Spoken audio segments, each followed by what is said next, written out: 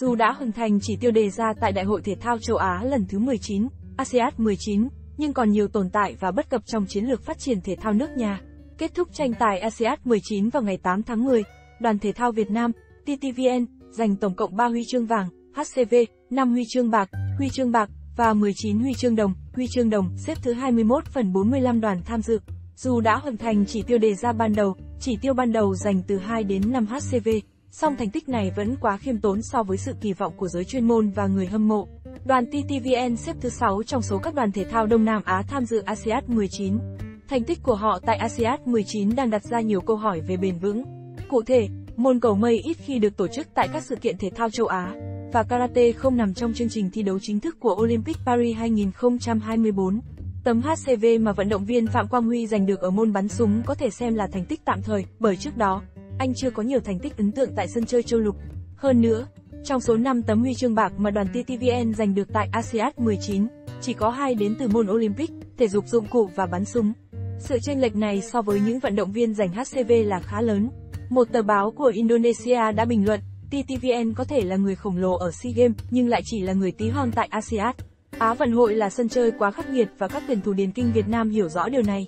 Mặc dù đã đoạt 2 HCV và 3 huy chương đồng tại ASEAN 18, nhưng điền kinh Việt Nam lại trắng tay ở Á vận hội năm nay. Tiến sĩ Dương Đức Thủy, người gắn bó nhiều năm với điền kinh Việt Nam cho biết, tôi không bất ngờ với thất bại của điền kinh Việt Nam tại ASEAN 19. Sân tập của vận động viên điền kinh Việt Nam ở hầu hết các tỉnh, thành phố đều đã xuống cấp lạc hậu. Các dụng cụ tập luyện bổ trợ như phòng gym, phòng đa chức năng, bể bơi, hồi phục, kém hoặc không có, dinh dưỡng cho vận động viên chưa được bảo đảm một cách khoa học. Điều kiện tập luyện như vậy thật khó để các vận động viên điền kinh Việt Nam vươn tầm ASEAN và Olympic. Đã đến lúc điền kinh Việt Nam cần thay đổi cách thức quản lý, vận hành và phát triển. Khó trong xây dựng môn trọng điểm. Đánh giá về sự sa sút của TTVN tại ASEAN 19, ông Đặng Hà Việt, Cục trưởng Cục Thể dục Thể thao, Bộ Văn hóa, Thể thao và Du lịch, phân tích kết quả trên đã nằm trong dự báo. Chỉ có số ít vận động viên Việt Nam tham dự ASEAN 19 đạt đẳng cấp thế giới, nhưng xác suất giành huy chương bị tác động bởi nhiều yếu tố. Trường hợp vận động viên Nguyễn Thị Thật từng vô địch châu Á và giành vé dự Olympic môn đua xe đạp đường trường, nhưng không may chấn thương nên về thứ tư là ví dụ. Hay đương kim Á quân thế giới, võ sĩ Nguyễn Thị Tâm mới trở lại sau chấn thương và đụng đương kim vô địch thế giới người Ấn Độ ngay vòng đầu nên bị loại. Ở ASEAN 19, cử tạ không tổ chức hạng 56 kg nam, trong khi thuyền nhẹ môn rowing bỏ nội dung bốn nữ mà Việt Nam từng giành HCV Á vận hội kỳ trước. Theo ông Đặng Hà Việt, TTVN gặp khó trong xây dựng môn trọng điểm, với ba yếu tố tác động chính gồm kinh tế, hệ thống tuyển chọn đào tạo và xu thế thể thao thế giới. Kể cả khi xác định được môn thể thao trọng điểm, TTVN cũng chưa xây dựng được kế hoạch phát triển hoàn chỉnh, bài bản. Ông Đặng Hà Việt chăn trở, sự phối hợp giữa thể thao với các ngành y tế, giáo dục chưa tốt, dẫn tới khó tạo bước đột phá. Một số chuyên gia cho rằng, TTVN cần phải xem lại hướng đầu tư, vì bao nhiêu năm qua, chúng ta vẫn loay hoay xác định thế mạnh. Việc đầu tư giàn trải, thiếu trọng tâm, trọng điểm khiến thành tích của TTVN tại Á vận hội chỉ mang tính chộp giật, chưa bền vững. Ông Nguyễn Hồng Minh, nguyên phó chủ tịch Ủy ban Olympic Việt Nam cho rằng, đây chính là mâu thuẫn trong quá trình dài của TTVN khi chiến lược phát triển xác định lấy đấu trường SEA Games làm ưu tiên. Các nhà quản lý và hoạch định thể thao nước nhà chưa đặt trọng tâm vào ASEAN hoặc Olympic.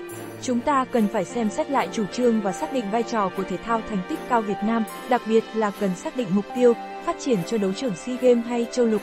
Ngoài ra, việc áp dụng khoa học kỹ thuật, công nghệ vào việc tập luyện, thi đấu nâng cao thành tích cho vận động viên Việt Nam chưa được chú trọng.